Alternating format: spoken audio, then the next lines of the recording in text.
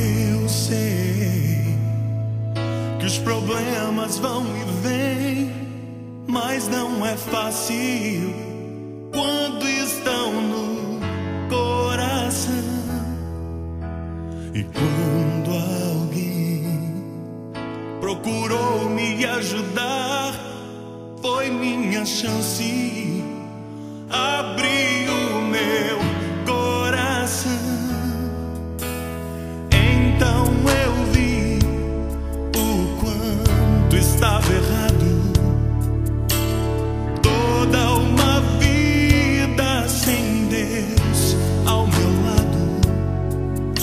Jesus veio me ajudar.